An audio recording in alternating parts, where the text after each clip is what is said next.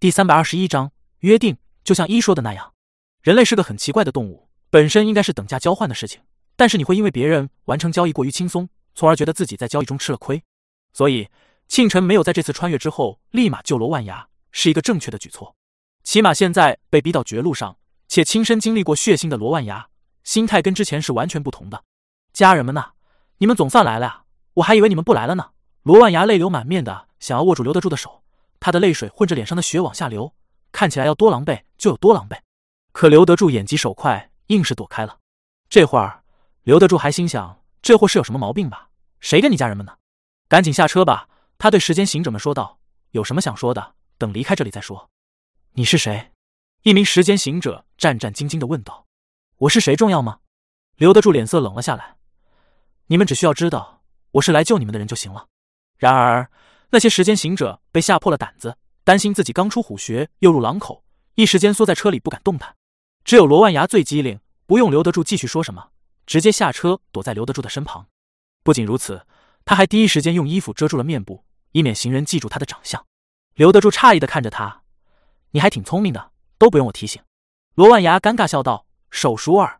以前他还没有成功上岸前，进派出所那是家常便饭，为了不被记者拍照什么的。”都是下意识遮挡面部。现在是午夜十二点，正是第四区最热闹的时候。十字路口处，刘德柱已经看到很多人在对他们吹口哨了。要知道，表世界行署路出现狙击枪的时候，所有人都在抱头鼠窜。而在这里世界第四区，大家发现有狙击手后，第一反应竟然是对着刘德柱他们竖大拇指、吹口哨。牛批呀，兄弟！你们社团里面竟然还有狙击手？你们哪个社团的？还收人吗？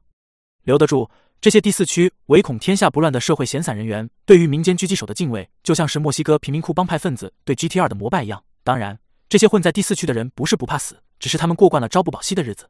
在第四区招工发薪水是不能按月发的，你一口气发一个月的薪水，他们三天就花完了。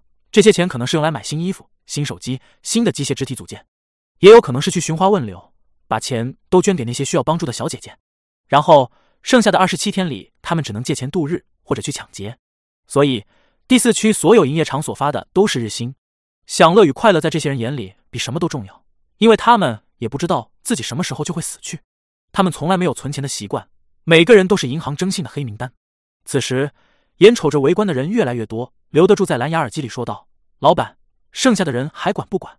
庆晨在蓝牙耳机里平静说道：“不管了，容他们自生自灭吧。”天真，你把车开过去，小牛你自行撤离。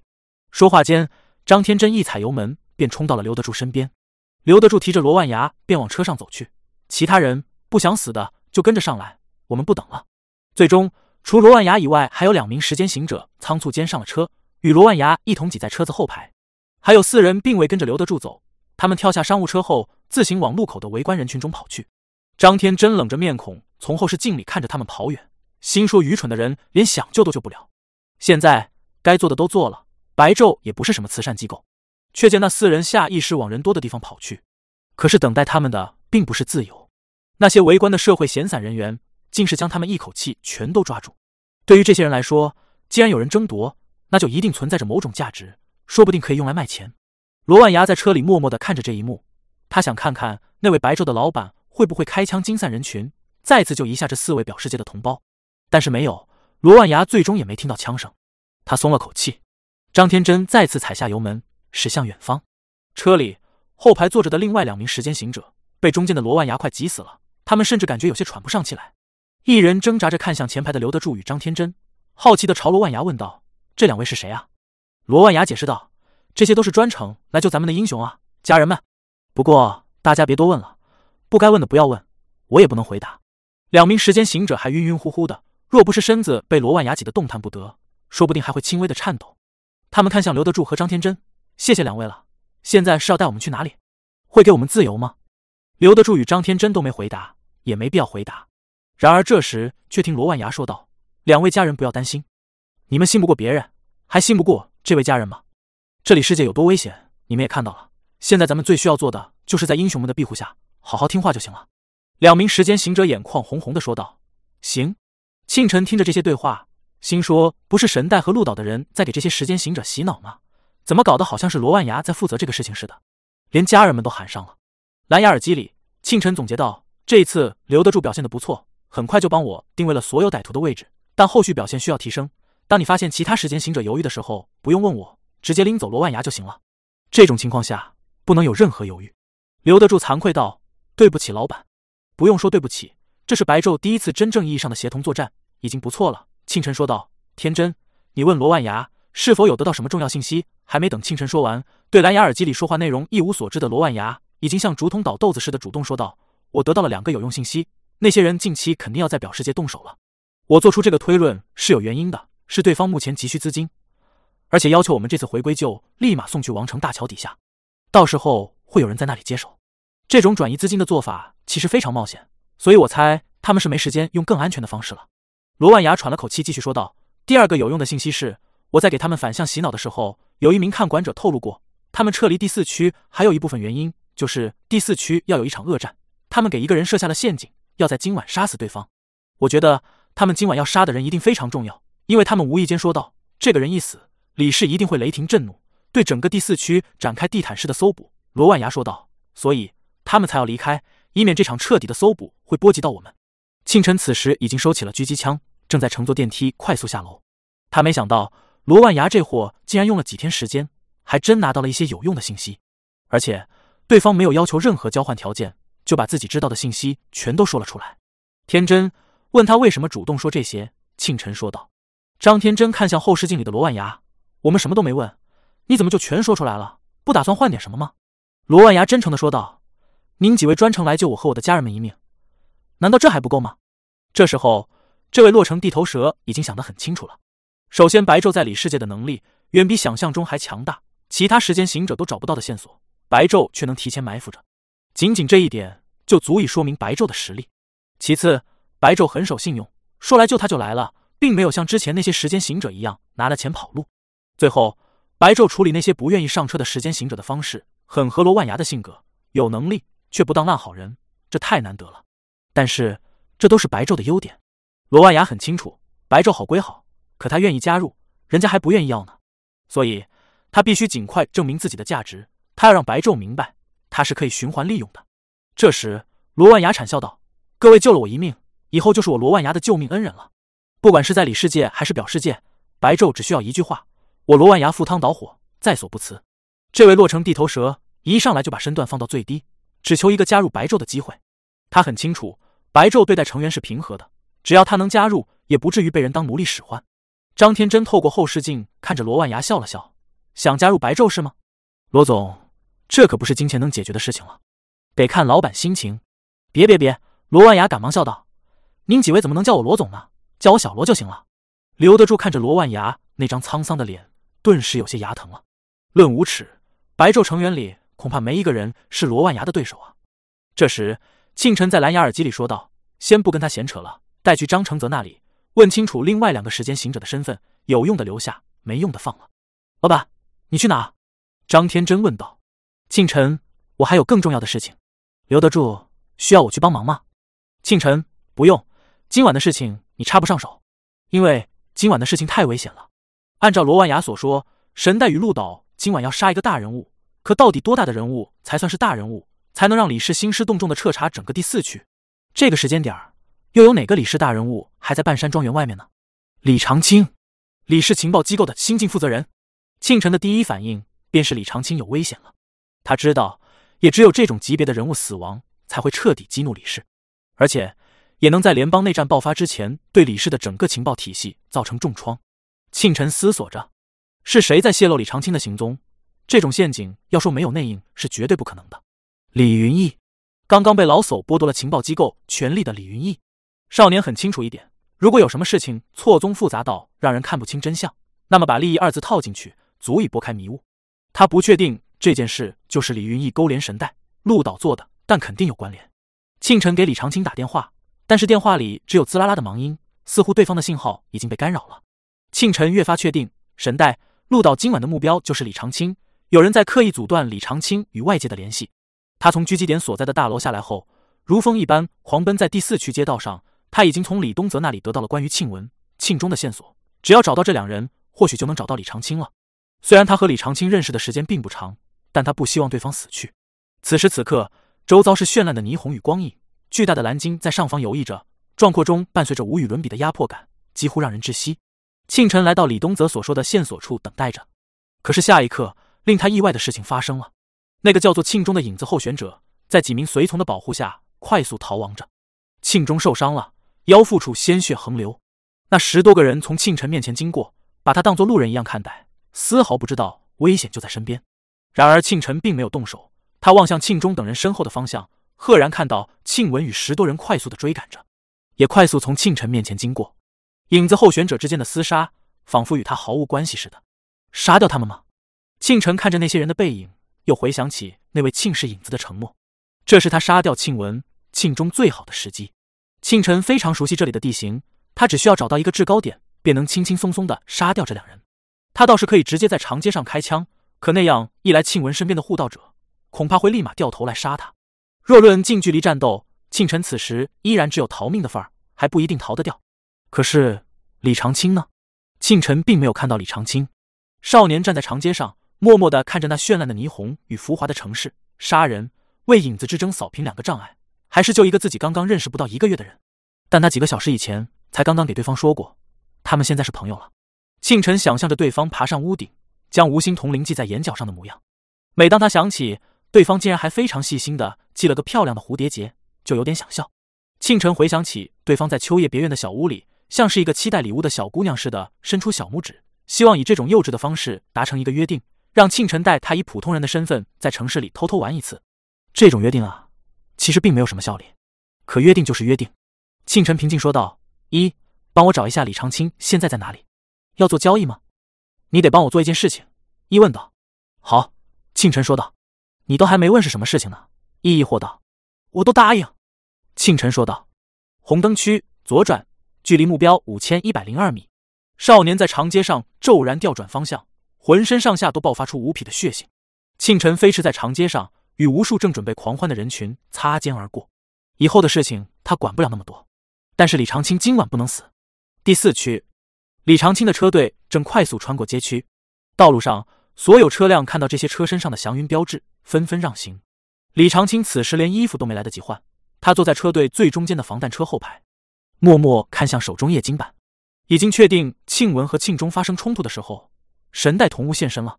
李长青问道：“是的，我调取了线人的机械眼数据，确实是神代同物无误。”老九说道：“我一开始也有点奇怪，找了他这么久都没找到，怎么会突然出现？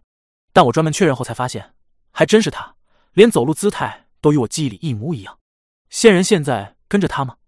李长青问道。是的，老九看了一眼自己手上的追踪仪器，线人的记号现在已经停了，可能神代同无已经停止移动。嗯，李长青点了点头，联系他问一下具体情况。另外，让特勤组赶过来，不要让神代同物再跑掉了。之前李长青给庆晨说，他是因为庆文与庆中才半夜出行，但事实上，影子候选者之间的事情还没法让他如此重视。李长青今晚。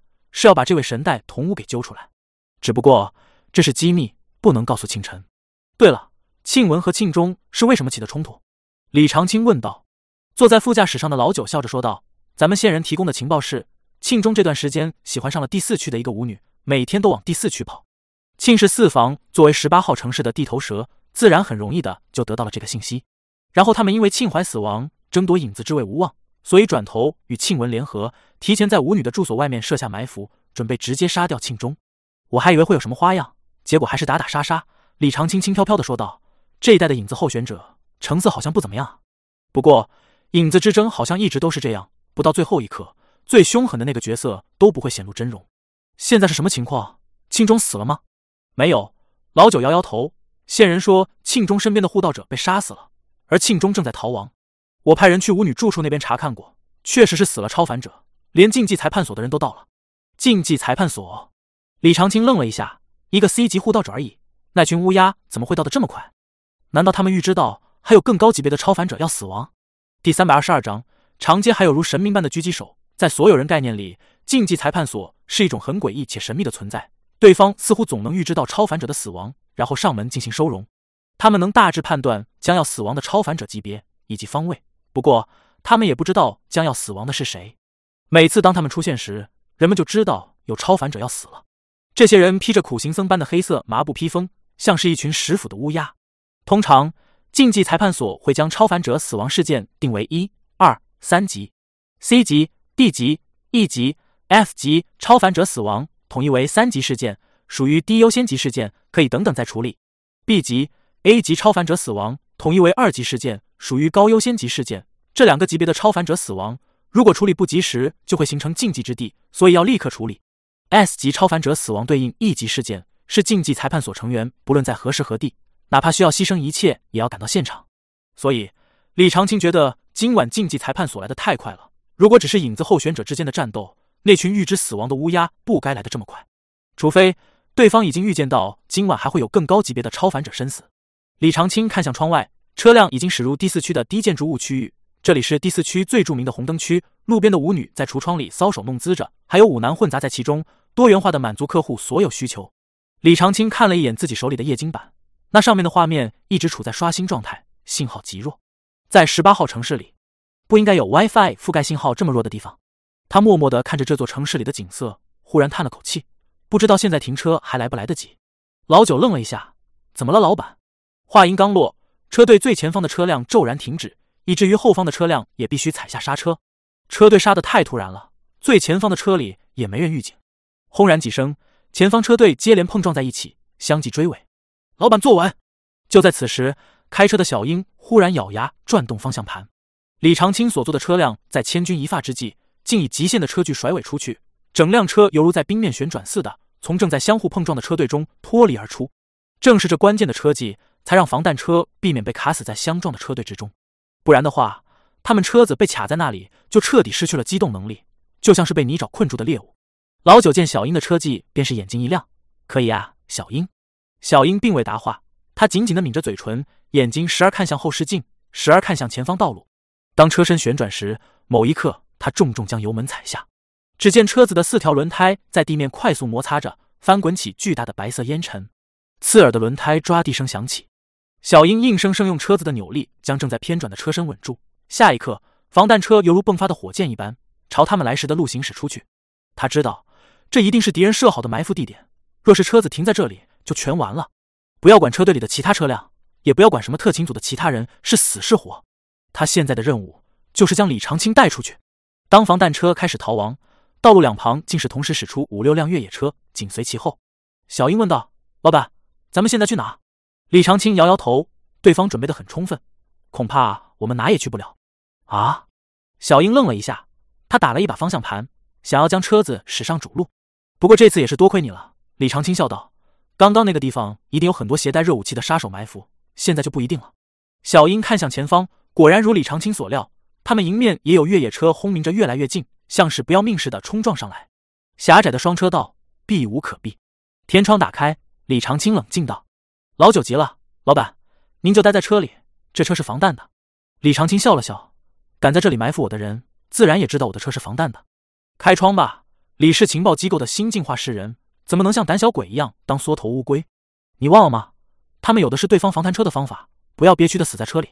老九愣住了，他保护李长青已经很多年了。就像是李长青身边兢兢业业的老奴和老管家，从这位老板上大学期间到如今执掌一方权柄，老九很清楚，李长青只有面临绝境才会表现出这副模样，那是身为财团成员的骄傲，不能窝窝囊囊的死去。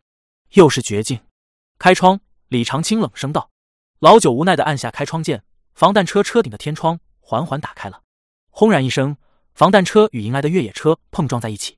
可就在这一瞬间，李长青竟是从天窗中一跃而出。凌厉的落在了后方还未撞上来的越野车引擎盖上，那一坠似有千斤。越野车受到这一坠之力后，车头瞬间下陷，连轮胎都纷纷爆裂。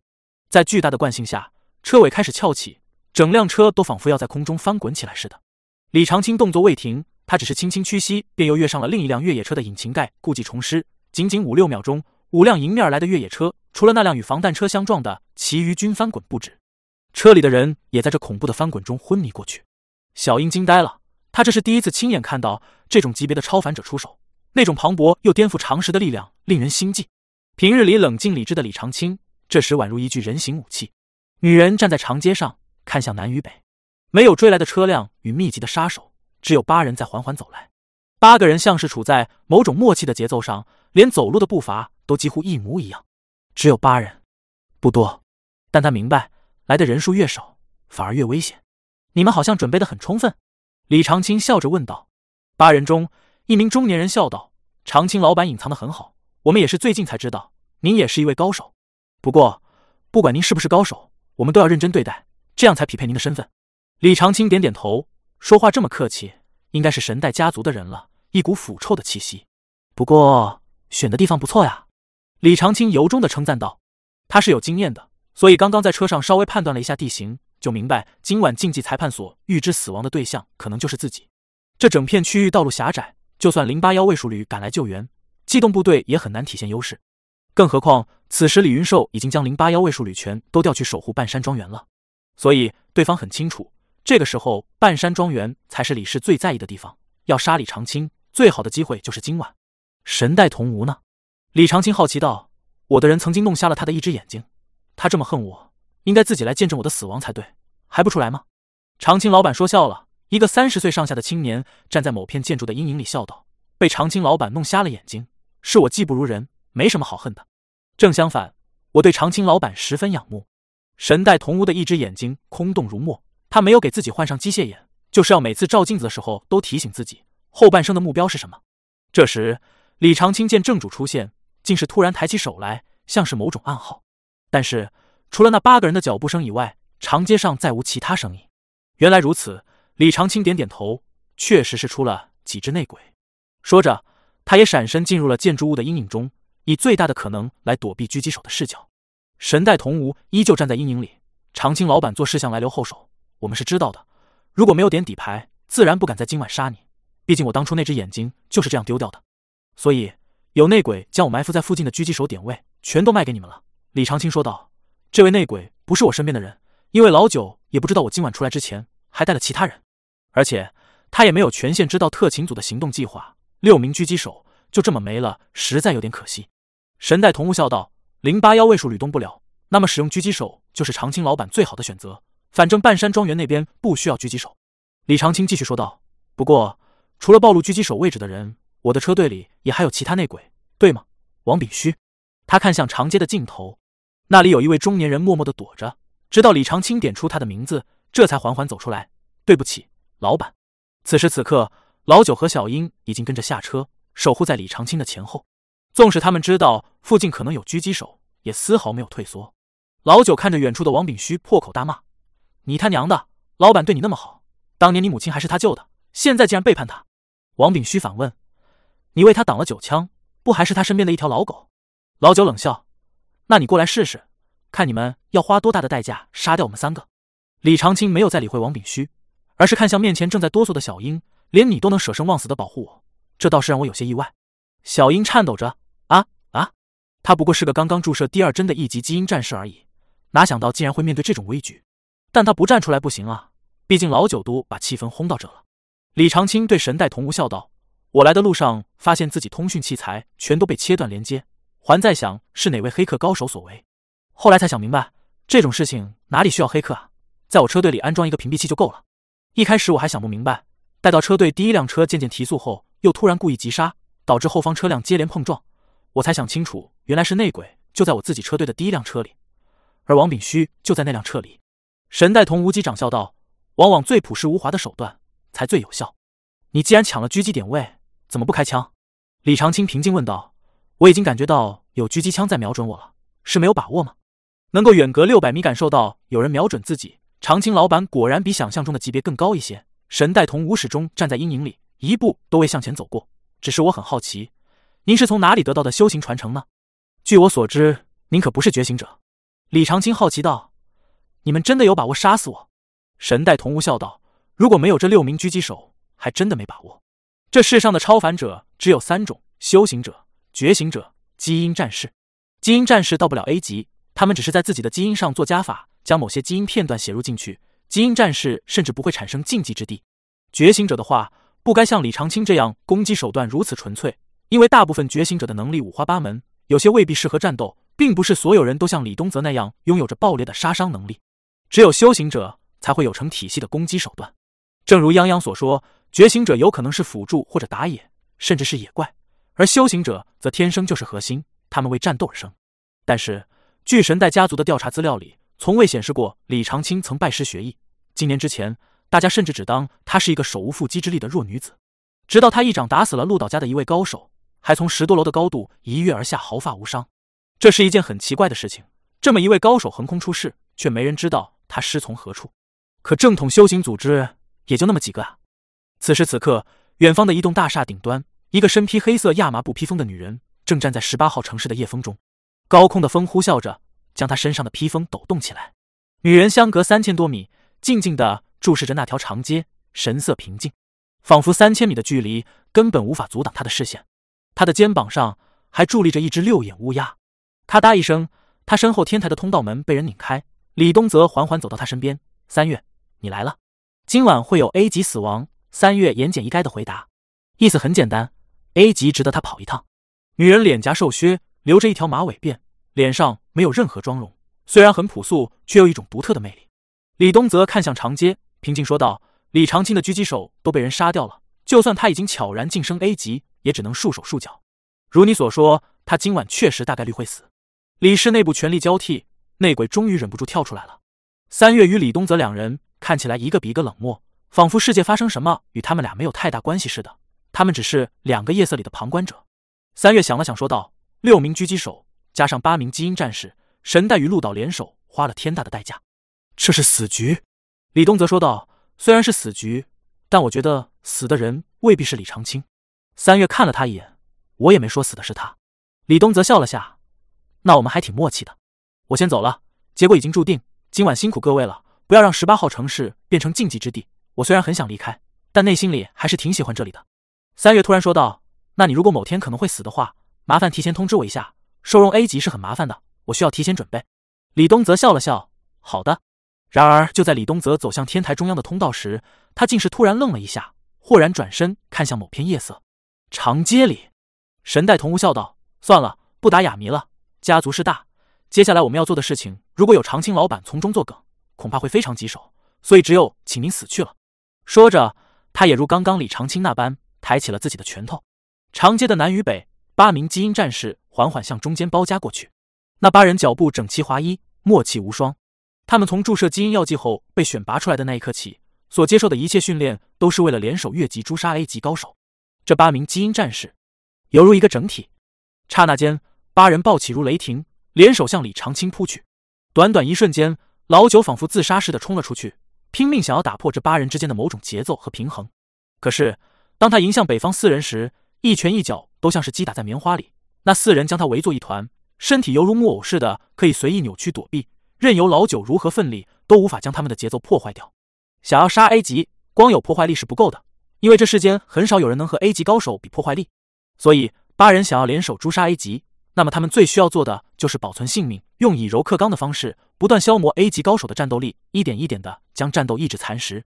老九只感觉自己浑身上下都陷入了一块海绵里，根本无法发力，怎么出手都觉得不自在。仅仅在双方接触的十秒之内，老九身上便挨了三拳四脚，如破布袋一般倒飞了回来。李长青动了，他必须接下那四人后续的追杀，不然老九命就没了。老九心中有愧，自己的职责是保护别人。最终却反倒要别人来保护自己，而且李长青为了救他，还将自己暴露在建筑的阴影之外，狙击手的视野之下。老板，小心狙击手！老九吼道。吼完，他嘴里又喷出一口鲜血来。狙击子弹应声而至，暗处六名狙击手有三人同时射击，只不过全都落空。其中一枚擦着李长青的肩膀而过，将他皮夹克的袖子打出了一道焦痕。李长青心中叹息，他只能凭借自己高速移动的身形，尽量躲避狙击手的弹道了。没有别的办法，但问题是，那八人联手的技巧就像是石磨一样，要把他卷进磨盘里，动弹不得。八人处在八个角度，不论他想要攻击其中任何一个人，都有人会从相反的方向出手，逼迫他放弃进攻，保护自身要害。只有站在这八人之间，才能切身感受到这八名基因战士的组合技有多么恶心。超凡者攻高防低，饶是李长青受上几下要害攻击，也一样扛不住。这八人心有死志，只要李长青敢拼死换命。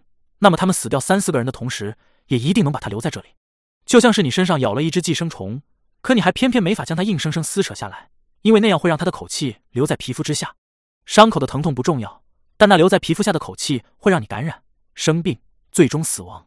不对，李长青此刻分明感受到，这八名基因战士里分明还藏着一名 A 级修行者，这才是对方最大的杀手锏。八人虽然默契，但这古怪的战阵也要有阵眼才行，不然这战阵怎么会如此坚韧、锋利、致命？对方就藏在这八人之中，等着李长青准备鱼死网破的时候迸发致命一击。此时，李长青身上还穿着朋克范十足的皮夹克，还戴着短短的假发，那是为了让庆晨带自己偷偷溜出去玩时换的装束。现在想来，这衣服还没派上用场，就被狙击枪打破了一个洞，以后也没法穿了。也不知道那少年现在干嘛呢？如果对方知道自己这位新朋友要死了，会不会有一点点难过？刹那间，神代家族的八名基因战士突然合力，瞬间缩小了围猎李长青的圈子，让他难以腾挪。如果狙击手要杀李长青，现在就是最好的时机。可是预想中的画面没有出现，也没有枪声响起，只有远处六百米的新磊大厦上，一面玻璃突然破碎了。轰鸣声也随之滚荡而来，狙击手，但不是神代的狙击手。刚刚那玻璃破碎处，赫然便是李长青早些设置的狙击点，也是神代同屋的狙击手。取而代之的地方，所有人都愣住了，谁也没想到春磊大厦的对面还有其他狙击手。李氏内鬼也从未提及。没等大家反应过来，李长青身边的一位 B 级基因战士身上骤然爆开血雾，玻璃的碎片坠落，从高空中穿过五彩斑斓的霓虹，长街上。基因战士爆开的血雾，众人惊愕的眼神，一切都是那么的戏剧性。这一枪瞬间打破了八人联手的平衡。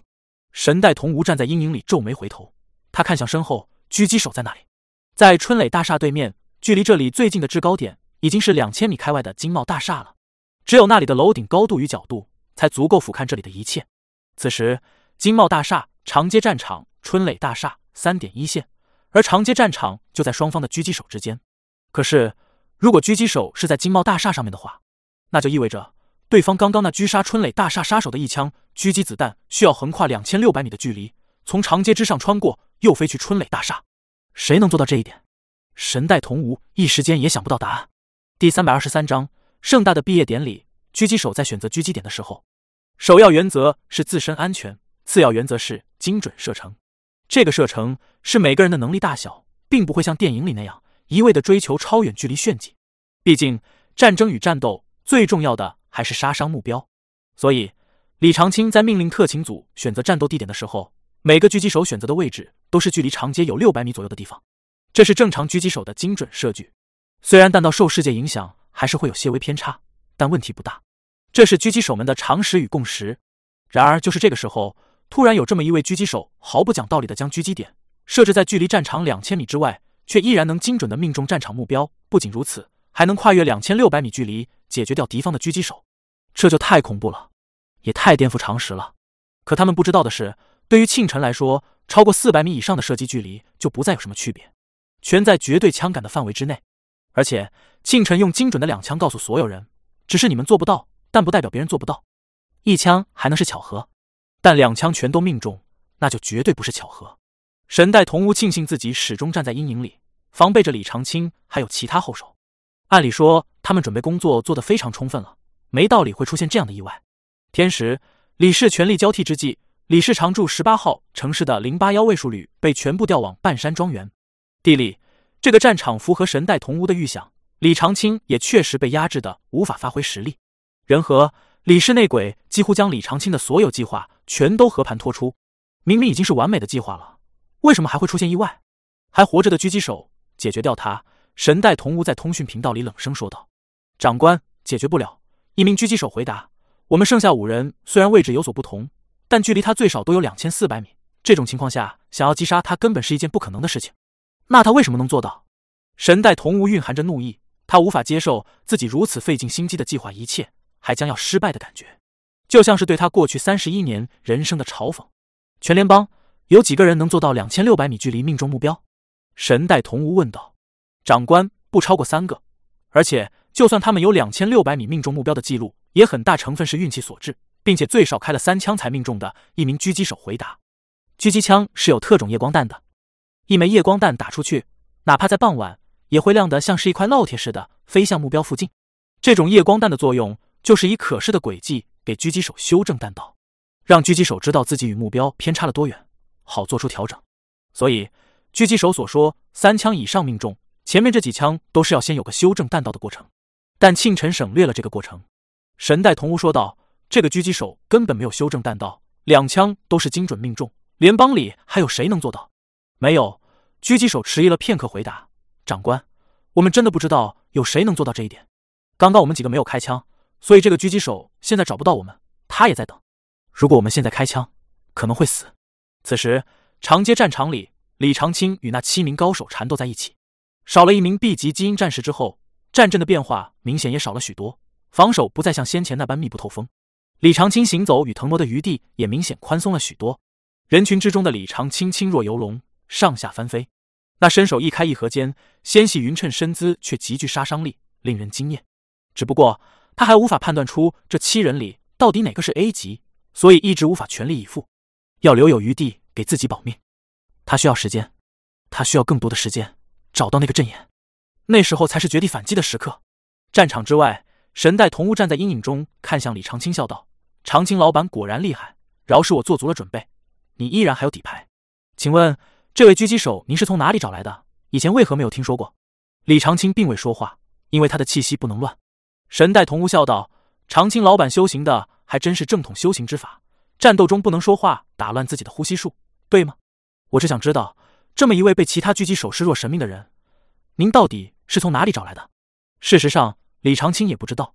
他也曾想培养出最顶尖的狙击手，专职负责暗杀，可只有真的去培养过，才能明白。这种人不是光靠子弹就能喂出两千六百米射程的，这需要独一无二的天赋。一千人，一个亿里也未必能出这么一个。李长青也不知道，这样一位狙击手为何会来参与财团之间暗流涌动的战争。他这些年一直在致力于间谍之间的战争，去完七号城市，去一号、一号城市的事情摆平了，又回到十八号城市。这个女人好像从来没有正式休息过，一直在用工作来分散自己的注意力，还要兼顾修行，所以。李长青并没有什么朋友，也不知道谁会在这个时候出手救他。不对，他是有一个朋友的。李长青蓦然想到，而且那个朋友确实有绝对枪感。可是拥有绝对枪感的人很多，那位朋友也只是在四百米内近距离射击时才有效。之前他还专门去看对方训练狙击枪来着，但事实证明对方从未使用过狙击枪啊。但不知道为什么，李长青总有一种直觉，一定是那个少年。除了他，不会再有其他人。就算那少年曾表现的从未摸过狙击枪似的，但这个可以演。就在此时，两千米外的狙击手再次开枪了。那孤身一人掌握战场权柄的狙击手很有耐心，他不知道等待了多久，终于找到了这么一个机会。却见子弹横贯长空，以优雅的抛物线重重击打在李长青身边一名 B 级基因战士身上。李长青离得很近，他甚至能听到“砰”的一声，那是硕大的子弹与人体接触的声响。磅礴的力一下子贯穿了基因战士的合金仿生皮肤。不得不说，神代同武准备的非常充分。李长青分明发现这些 B 级基因战士，竟是浑身上下都植入了合金仿生皮肤。神代想要打造这么一个杀手，怕是要花费数千万才行。八个人全都植入，这笔花费绝对是天价。这是神代内部最精锐的杀手。可是，合金仿生皮肤再坚韧，也不可能超越轻型步兵战车的装甲。而反器材狙击步枪搭配乌星穿甲弹，本是用来打步兵战车的，尤其是以德服人。比寻常反器材狙击步枪更加恐怖。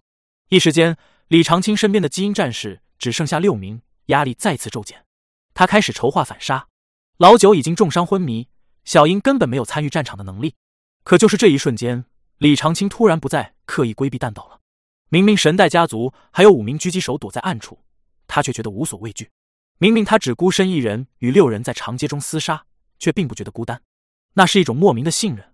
他相信这位远在两千米以外的朋友一定不会让他失望。神代同吴皱着眉头，时间一分一秒过去，计划却在一点点走向失败。如果继续拖延下去，别说李长青那惊人的战力值慢慢发挥出来，到时候零八幺卫戍旅反应过来，他们所有人都要葬身于此。解决掉那个狙击手，不惜一切的解决他。神代同吴在通讯频道里说道：“平日里不是自诩枪法精准吗？你们有五个人，他只有一个人，想杀了你们所有人需要时间。”这就给了你们修正弹道的机会，长官，我们是四支七点六二毫米口径的狙击步枪，只有神代长川少校带着一支十二点七毫米的反器材狙击步枪。七点六二毫米的狙击步枪与他相隔两千四百米，除非打进眼眶，不然根本不可能杀了他。一名狙击手说道：“对方用的是什么口径？”神代同吾问道。听起来很接近十二点七毫米口径反器材狙击步枪，但声音又有很多不同。长官，寻常反器材狙击步枪或许能隔着两千米打伤浑身都是合金仿生皮肤的 B 级高手，但绝对不至于打出贯穿伤。动能在一千六百米的时候就应该开始快速衰减了。可是对方的狙击枪不一样，刚刚那一枪分明把 B 级基因战士给打穿了。这就是说，那枚穿甲弹其实是隔着两千米打穿了两层合金仿生皮肤。这哪是狙击步枪啊？这分明是反器材狙击炮。神代同屋问道：“神代长川，你最远射击记录是多少？”神代长川犹豫了一下，回答：“一千七百二十一米，四枪修正弹道，第五枪命中。”神代同屋冷声说道：“现在是你突破自我，为家族奉献的时刻了。”神代长川回应道：“明白了。”其他四人不间断掩护射击。神代同屋冷峻道：“给神代长川争取时间，争取一个修正弹道的时间，杀了他。”狙击手们沉默了。所谓不间断掩护射击，就是让他们一动不动的给那位狙击手当靶子，用他们的生命给神代长川争取修正弹道的时间。但他们是士兵，服从命令便是天职，所以明知这是送死，也必须执行。这一刻，他们很清楚，神代同吾未必寄希望于他们，毕竟傻子都知道他们不可能打中。神代长川能打中最好，就算打不中，他们也未必全然失败，因为只要他们开枪，狙击手的注意力就会转移到他们身上来，这就给长街中围杀李长青的高手争取了时间。十秒，神代同吾只需要这些狙击手给他争取十秒钟，到时候。隐藏在人群里的 A 级高手便可以心无旁骛的全力出手。神代同吾不想再等了，这次很多狙击手都会死。神代同吾在通讯频道中平静说道：“家族会记得你们的功绩，神社里的石碑上也会添上各位的名字。玉碎，玉碎是神代家族发动自杀式袭击前的最后动员。从这一秒开始，所有狙击手心存死志。此时此刻，庆晨平静的趴在金茂大厦一百二十一层高空露台上，他的眼睛已经离开了瞄准镜。”在广袤的视野里，搜寻着神代家族剩余的狙击手。下一秒，远处春磊大厦的一百三十层位置有火光瞬间迸发，那是没有装载消焰器的狙击枪开火了。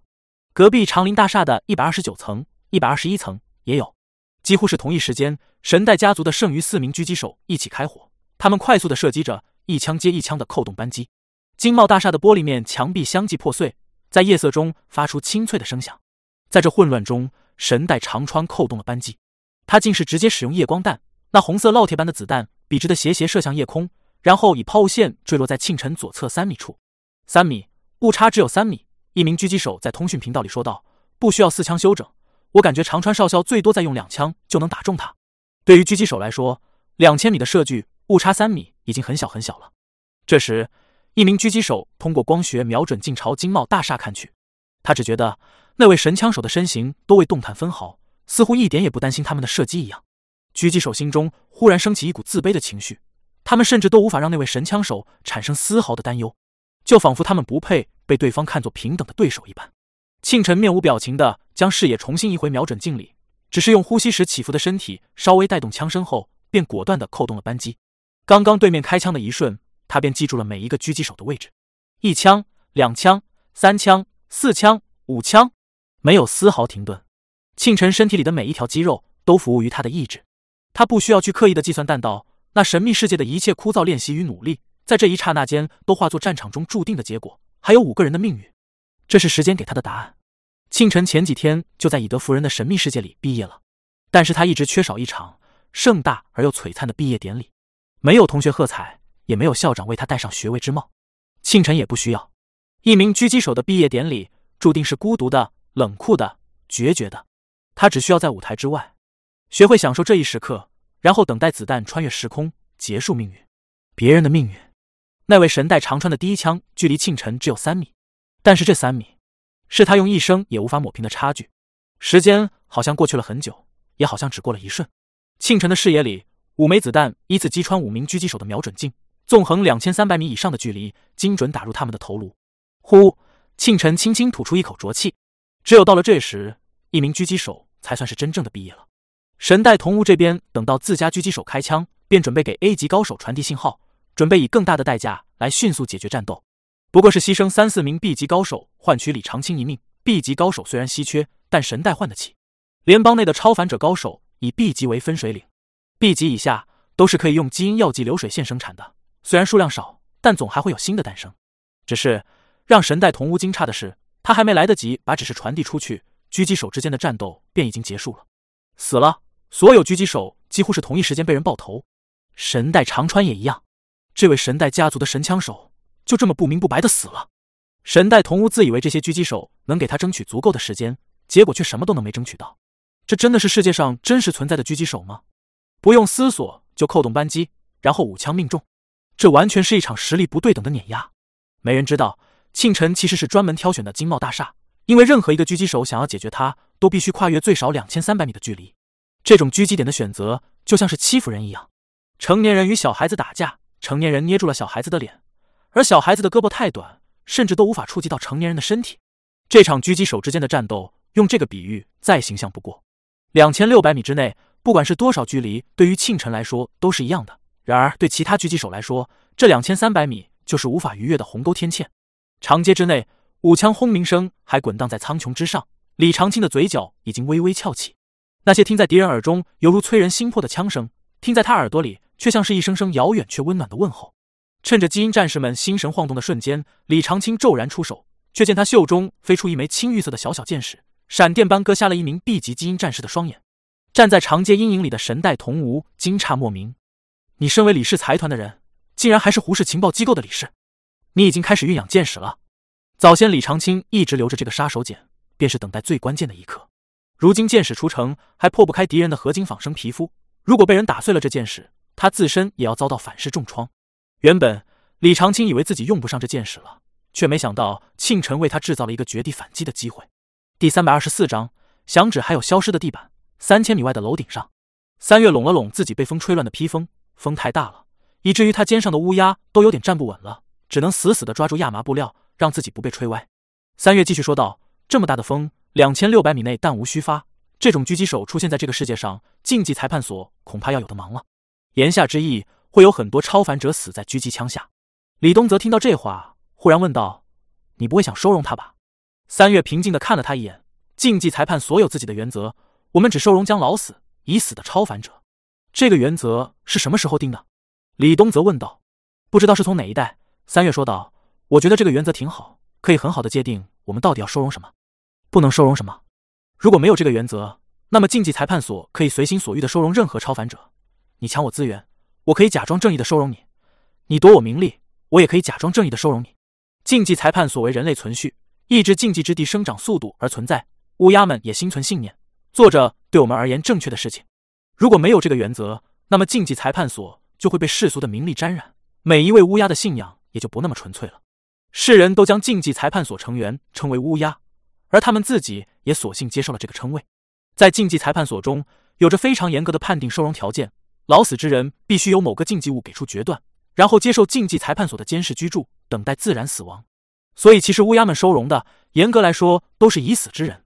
也正是如此，战场上才会出现两边打仗，竞技裁判所在其间行走却不受攻击的奇怪景象。因为乌鸦们有乌鸦们的原则。事实上，如果没有竞技裁判所的话，可能包括十八号城市、一号城市、七号城市在内的十多座城市，早就变成了一座座禁忌之地。三月看向李东泽。看你反应，我总觉得你可能认识这位狙击手。不认识。李东泽摇摇头。明白了，你在我面前还是不太会说谎，跟以前一样。放心，我会保密的。竞技裁判所的秘密太多了，也不差保守这一个。三月淡然说道。所以，是一个你需要保护身份的人，是骑士的下一代继承者吗？我都说了不认识。李东泽挑了挑眉毛，然后从怀里掏出自己的怀表。不用想办法转移话题了。明天有雨。三月说着，又看向金茂大厦方向。没有再提庆晨的身份之事，狙击手终究还是有上限的。那些 B 级基因战士没有狙击手的庇护，应该会学着李长青之前所做的那样，不停的规避弹道。这种情况下，想要打中他们，很有可能误伤李长青。毕竟两千米距离，子弹需要两秒才到。就算再精于计算的人，也无法判断一个 B 级高手两秒后在哪。之前神代家族的狙击手之所以能开枪，是因为八名高手将李长青的行动局限在很小的范围里，他们有着一套很默契的配合方式。但李长青只有一个人，他没法锁定战圈。正如三月所说，庆晨在杀死所有狙击手之后，便将枪口瞄向战场。他试图继续狙杀 B 级基因战士，但此时所有 B 级基因战士都开始规避弹道，高速移动着。他们不停地变换着方位，哪怕这样做会错失攻击李长青的机会。庆晨想要在不误伤李长青的情况下击中他们，几乎成为了不可能。你觉得他会怎么做？狙击手这时候会很尴尬。他选的距离确实对自己有很大优势，他打得到别人，别人打不到他。但距离太远了，就会导致弹道太过漫长。李东泽平静分析道：“我哪知道，我又没当过狙击手。”三月一边给肩膀上的六眼乌鸦捋顺羽毛，一边回答。只是这时，庆晨没有在对准战场里面开枪，而是径直将枪口抬起，仿佛要狙击天上的星辰。他机械般的一下又一下扣动扳机，任由子弹飞去未知的高空。三月看到这一幕，叹息道：“不仅射击精准，而且还聪明。这一次足以让李长青翻盘了。一名狙击手在战场里未必要枪枪命中才算是威胁，他只需要让敌人知道自己还在，本身便是一种威胁了。战场里的所有人。”根本没法确定自己是不是下一秒被瞄准的对象，只能不停的高速移动，错失一次又一次的搏杀时机。那狙击枪声像是悬在每一个敌人头上的达莫里斯之剑，谁也不知道它什么时候会落下。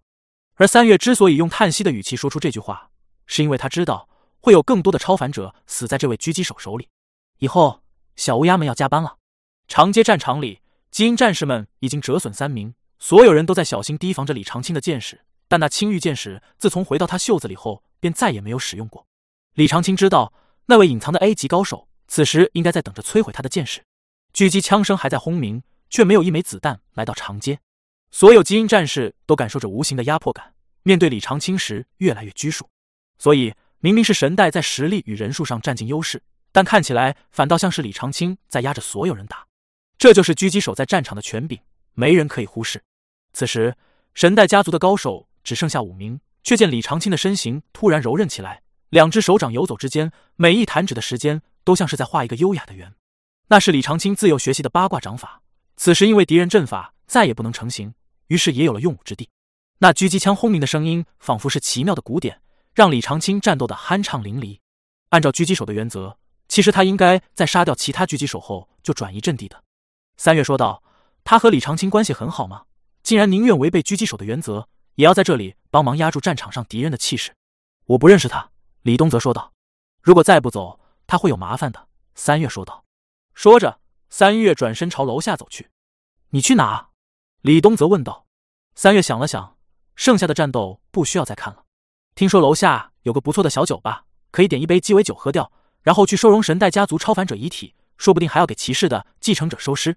似乎在三月看来，结局已经注定。三月看向李东泽。不来喝一杯吗？可李东泽转身走得比三月更快。不用了，我还有其他事情。去救人。三月好奇道：“不来喝一杯吗？”不喝了，楼下酒吧的酒都是从我那里进货的。李东泽说道。三月脸上少见的出现了愕然神色。此时此刻，庆晨一边扣动扳机，一边注意着周围的动静。他自己也很清楚狙击手原则是什么。既然完成了任务，干掉了对方的狙击手，那就应该尽快离开才对。神代家族在十八号城市里的杀手很多。多到可以同时对付他和李长青两人，一个静止不动的狙击手一定会被人找上门来。可是他也知道李长青那边依旧有很大的压力，他还不能放手。刹那间，之前昏迷的老九不知何时已经苏醒，他躺在地上眯眼观察了半天，终于找准时机重新起身，用身体撞向其中一人，不要命似的帮李长青减轻了压力。老九身上有伤，所以战斗力大减，他只能艰难的抱住那个被他撞倒的基因战士，死活都不松手。任由着对方一拳又一拳的击中他肋下，原本要改名老十六的老九，这一战之后怕是要变成老十九了。这一拳又一拳的伤害未必就比枪械小，却见李长青袖中的剑矢再现，奔雷似的刺入那名被老十九锁住的基因战士眼眶。看到这里，庆晨果断的收枪走人，丝毫没有拖泥带水。他戴上卫衣的兜帽，从金茂大厦的安全通道处向下走去。这金茂大厦的电源不知何时被人切断了。整栋大楼都会暗了下来。庆晨他刚刚走进安全通道时，那昏暗的楼梯里便有人影扑来。他下意识将双臂挡在自己面前，浑身上下肌肉同时紧绷起来。电光火石之间，庆晨避无可避之下，竟是选择用臂骨硬生生接住了这位不速之客的一脚正蹬。少年整个人就像是一个沙包，从安全通道门口倒飞了出去，重重的撞在了楼梯间的墙壁上。好快，来的人竟然是一个 B 级基因战士。庆晨是 D 级巅峰。在这位 B 级基因战士面前毫无还手之力，浑身的骨骼都像是散架了似的，五脏六腑内出现了钻心的疼痛，一口鲜血喷出，他疼得几乎要晕厥。你就是那个狙击手吧？B 级基因战士平静问道。庆晨认出了这个声音，王炳虚，曾经为秋兽队伍保驾护航的王炳虚。狙击枪虽然厉害，可只有这一刻，庆晨才清楚意识到自己与真正高手之间的差距。果然，还是要认真修行。好在庆晨此时仍旧是字儿的的模样，对方并没有认出他来。王炳虚从安全通道里走了出来，可是就在庆晨咳血的刹那，王炳虚竟看到对方手里突然凭空出现了一杆巨大的黑色狙击枪，对准自己扣动了扳机。仓促之下，王炳虚转身想要避开弹道，可他与庆晨的距离太近了，根本没想到对方会凭空变出一杆狙击枪来。轰然声中，王炳虚躲避不及，他的左臂竟是被这一枪打得齐根断掉。庆晨心中叹息，面对这种级别的高手，只要对方有防备，自己竟是当面近距离开枪都无法打出致命效果。王炳虚心中的疼痛与愤怒燃烧起来，他如猎豹般闪动着身形，一脚踹向庆晨的头颅，硬要将这头颅给嵌进墙壁里去。庆晨转动枪口，想要跟上王炳虚晃动的身形，却发现对方比他快了太多。危险！绝境！一个响指声从安全通道里传来，还有人轻声说着：“多喝了两杯茶，差点就来晚了。”金茂大厦里的时间在这一刻仿佛是真的缓慢下来了。楼梯间里。一个戴着鸭舌帽的身影从容的拾阶而上，对方上楼梯的动作很悠闲，但来的速度却很快。王炳虚踹出的脚像是电影画面一帧一帧慢放似的，缓慢靠近着庆晨的头颅。而那戴着鸭舌帽的身影伴随着轻微的咳嗽声从王炳虚身边走过，只见他手指轻轻从王炳虚脖颈间抹过，宛如蜻蜓点水般的轻盈与优雅。然后那身影微微将王炳虚踹向庆晨的腿抬高了十公分，又一个响指。时间的流速骤然恢复正常，粘稠的时间犹如泥沼，而此时的时间在响指之后，忽然如水库泄洪般突然开始倾泻。王炳虚脖颈间骤然喷出巨量的鲜血，他踹向庆晨的那一脚也堪堪从庆晨头顶掠过，踹在了空空如也的墙壁上。墙壁碎裂，大片的灰尘将庆晨搞得灰头土脸。但王炳虚比他惨，这位 B 级基因战士甚至都没明白怎么回事，就因颈动脉破裂而死。庆晨借着昏暗的光线。震惊的看着面前这位熟悉的身形，影子先生。庆氏影子蹲在庆晨面前，用自己中指、食指的指节轻轻敲着庆晨的脸蛋，发出了咚咚的声响，仿佛敲在了木头上。然后，庆氏影子又看向庆晨的手腕，却见他抓起庆晨的手腕，认真端详着提线木偶。骑士组织竟然会把提线木偶传承给你，看来现在的骑士组织杀意很浓啊，连这种尘封的禁忌物都启用了。庆晨面对这位庆氏影子的时候。总感觉很无力，对方好像什么都知道似的，又什么都不在乎。你不知道他到底是谁，也不知道他到底想干什么。这种存在，如果你不知道他想干什么，就无法做出有效的针对。还有禁忌物 S 零零五，李书同这位师傅很舍得呀，连禁忌物 S 零零五也给你了。庆氏影子继续叹息道：“看来我是不是真该去给你找个禁忌物，才能把你的人心给收买回来？”庆晨想了想，说道：“倒也不是不行。嘿嘿，没想到我会来救你吧？”庆氏影子咳嗽着说道：“五脏六腑错位，看来你得休养几天了。骨骼，咦，你的骨骼竟然没事？”庆氏影子捏了捏他的臂骨，却发现原本应该断掉的骨头，竟是连骨裂都没有。这时，庆晨也发觉了，他刚刚分明用双手臂骨挡住了王炳旭的攻击，虽然那不是对方的全力一脚，但也足够恐怖。若放以前，臂骨恐怕早就碎了。但现在吃过九条龙鱼的他，骨头跟没事似的，只是有一些轻微的酸胀。这九条龙鱼的功效。竟比想象中还凶猛，难怪自己师傅李书同也要去龙湖偷鱼。但是更令庆晨惊异的是，这位影子先生的能力。此时，庆氏影子的面目笼罩在鸭舌帽下的阴影里，走廊本就昏暗，这下子庆晨更是什么都看不清了。行了，你现在安全了。庆氏影子笑道：“准备离开吧，不然还得……”说话间，他笑容慢慢收敛，因为庆晨竟然晕了过去。算了，帮人帮到底吧。庆氏影子挥手间撑开一片暗影之门。却见他拎着庆晨后背的衣服，轻轻松松的走了进去。暗影之门的彼岸是洛神大厦一百三十二层，庆晨的住处。庆氏影子把庆晨往沙发上一丢，便再次撑开一扇暗影之门，不知道去了哪里。没过一会儿，庆氏影子回来了。这一次，他带回了王炳旭的尸体，丢在了庆晨家客厅地板上。庆氏影子又走了。五分钟之后再回来，手上还拎着两名 B 级基因战士的尸体，像是从长街上偷回来似的。他看着地上的三具尸体。然后对昏迷着的庆晨说道：“禁忌物比较难找，但给你先找点祭品并不难。那个 A 级一时半会儿还死不了，我再等等看。或者李长青杀不掉他的话，我就亲自出手玩玩。但好像有点冒险。”这位庆氏影子似乎也并不在意庆晨是否能听到他说话，就这么自顾自的说着。金茂大厦里，李东泽正坐着电梯快速攀升着来到一百三十层。他缓缓走着，查看着周遭的环境。此时，金茂大厦的备用电源已经启动。李东则发现了安全通道外的战场，只是那里的庆晨与王炳虚都已经消失不见，只余下碎裂的墙壁，还有地上的血迹。李东则冷着面孔，他终究还是来晚了。只是他判断庆晨应该没死，因为按照战斗痕迹来看，倒撞上墙壁的应该是庆晨，而对面那一大滩血迹应该是偷袭庆晨之人留下的。看出血量，必然是大动脉破裂才能形成的喷溅痕迹。敌人死了，那庆晨应该还活着。是有人救了庆晨，还是庆晨完成了自救？李东泽无法确定。他看向墙壁附近，那里也有一小滩血迹。李东泽判断。那地板上的血迹应该是庆晨内脏受伤后咳出来的。想到这里，他为了不让别人收集到庆晨的 DNA 信息，竟是出手将一整块地板全都撬了起来，扛着走下楼去。第三百二十五章消失的庆晨。长街之中，李长青几乎力竭，边厮杀边向后退去。此时，围攻他的神代家族高手已经从八人变成了两人。很多人对八卦掌有一种误解，就是这种拳法是以柔克刚的，但实际上八卦掌路子极野，几乎招招都攻人要害。横烫上三路，下三路，如翻花飞叶般轻盈又致命。表世界国术对练，大多数最终都打成了王八拳，谁胳膊抡的劲儿大，谁就能赢。然而，那是对练者自身力量、速度、反应神经都无法与招式匹配的情况。如今这八卦掌在 A 级的李长青手里使出，已经是另一番模样。或许这才是八卦掌本身的风采。胡氏情报机构是一个中立的情报组织。而他们之所以能在财团的夹缝中生存，靠的便是正统的修行之法。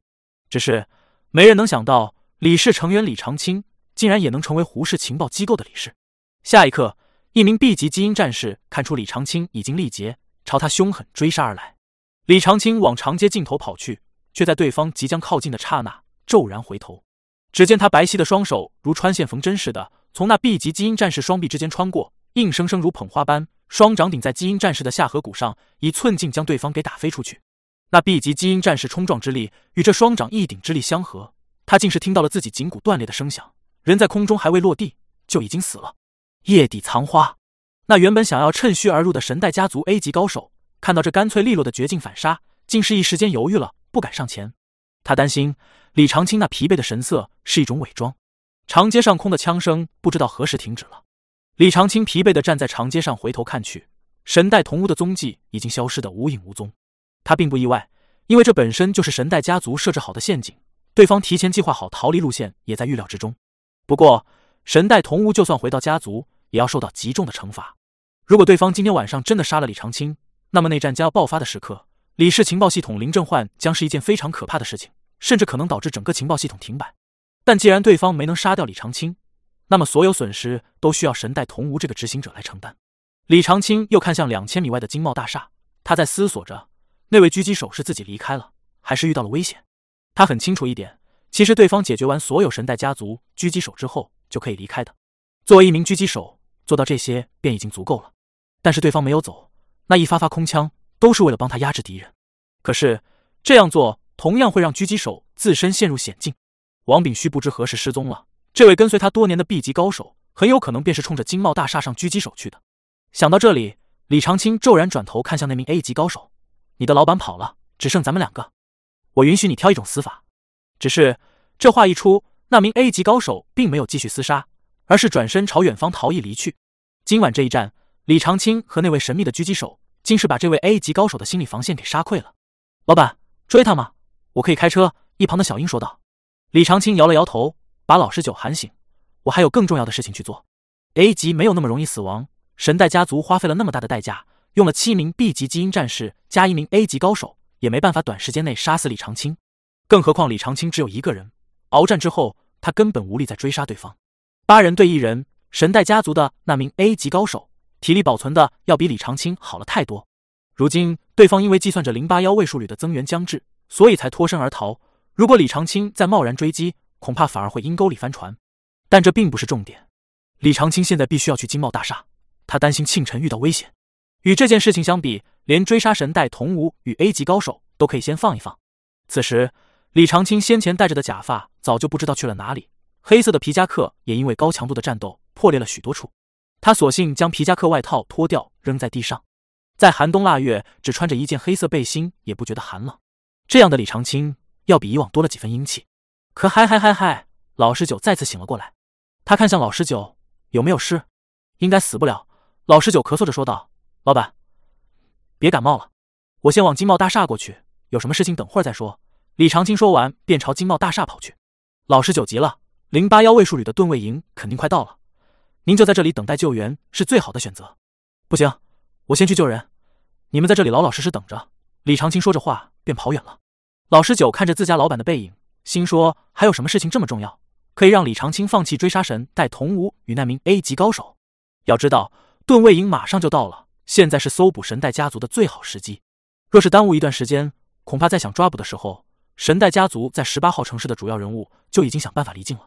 但是他知道，自家老板决定的事情，没有人能阻拦。李长青来到金茂大厦后，坐着电梯直奔一百三十层。他站在李东泽曾站过的地方，只需要一眼便能确认，那位救了自己的狙击手确实遭遇了袭击，而且伤得很重。李长青在庆晨已背部撞碎的墙壁对面，还找到了一颗狙击枪的弹孔。这么一对照，他便差不多知道发生了什么。可问题是，庆晨呢？地上的血迹又是谁的？最让人疑惑的是，地上少的那块地板砖又是怎么回事？如果是战斗中被人打碎了，很正常，但一整块都消失了，一点也不正常。李长青带着疑惑去查看了金茂大厦的监控，却发现存储录像的硬盘早已不知所踪。庆晨应该没死，有人救下了他。可是谁救的呢？他带着疑惑回到长街。此时盾卫营已经赶到，正在对周围进行快速搜索。李长青看向小英：“你有没有事？”“没，没事。”小英说道。“我刚才就摇旗呐喊来着，也没人管我，我也不敢管别人，正常。”李长青说道。“术业有专攻。”以后你好好开车就行了。注射剩下几针基因药剂之前，不用你参与战斗。今晚小英虽然在战斗中没有帮上忙，但对方在摆脱困局时的那一甩尾，足以惊艳所有人。如果当时他们被困在神代设置的第一个伏击点，那就全完了。李长青对小英说道：“我们的车还能开吗？虽然跟他们的越野车撞了，但咱们的车结实，引擎什么的都没事。”小英说道：“那就行，咱们现在回半山庄园。”李长青说道。李长青说着，拎起重伤无法动弹的老十九，将他丢进了后排，而他自己则坐在副驾驶位置上。不过，李长青忽然发觉有些异样，地上的几具基因战士的尸体呢？怎么少了两个？小英在一旁哆嗦着回答：“老板，刚才可吓人了，你正战斗呢。”长街上忽然有一扇暗影之门打开了，那黑黢黢、chu 的门里竟然伸出一只手来，拖着尸体的脚踝就拉扯了进去。老九当时已经再次昏迷，所以并不知道发生了什么。那一刻，小英害怕极了。来自黑暗里的手拖走了尸体，这是怎么想怎么恐怖啊！李长青愣了一下，暗影之门，别吓自己了，这是禁忌物 S 零零八的作用。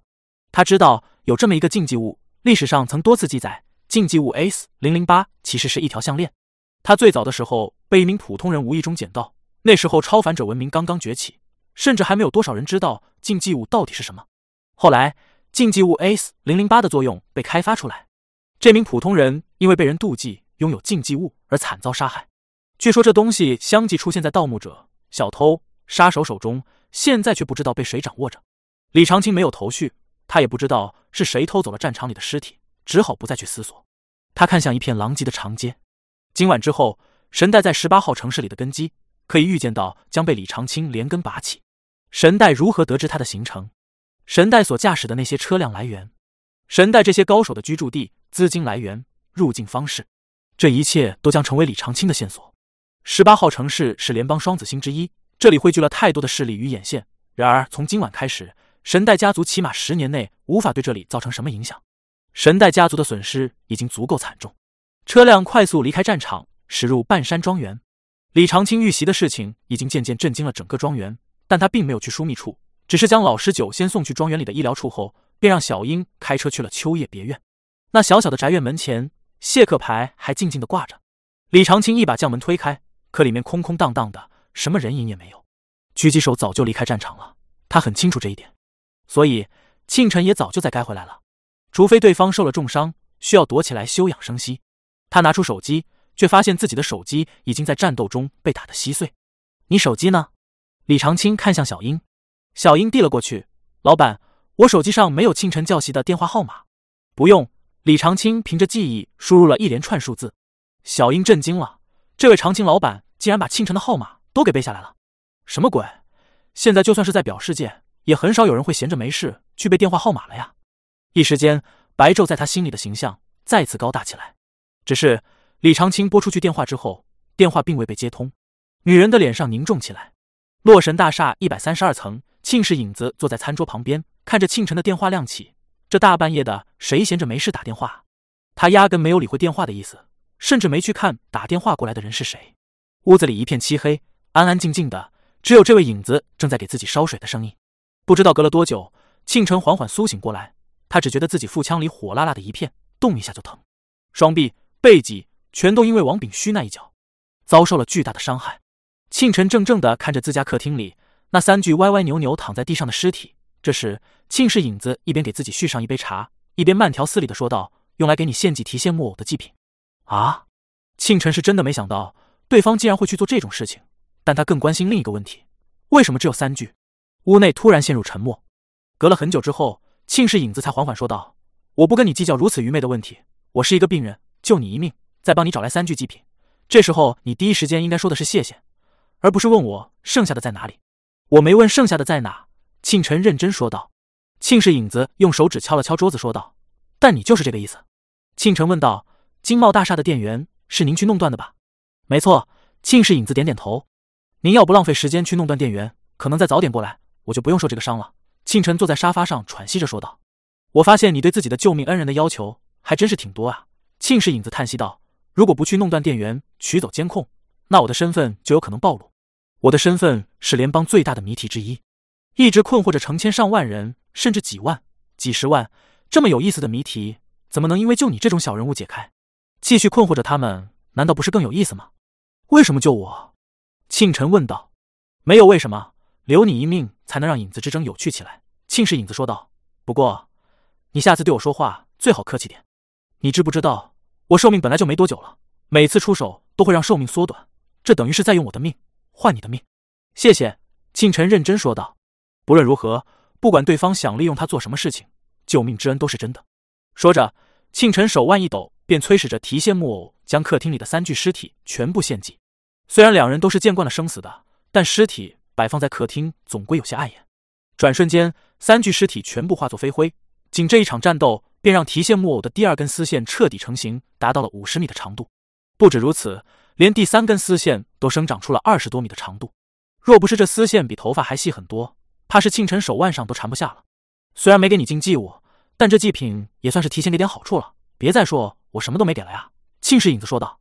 庆晨心想，这位庆氏影子倒是很会做生意，这五本买卖做的简直飞起。庆氏影子看向庆晨：“我之前让你来我庆氏密蝶司的事情，考虑的怎么样了？工作地点在哪呀？”庆晨问道。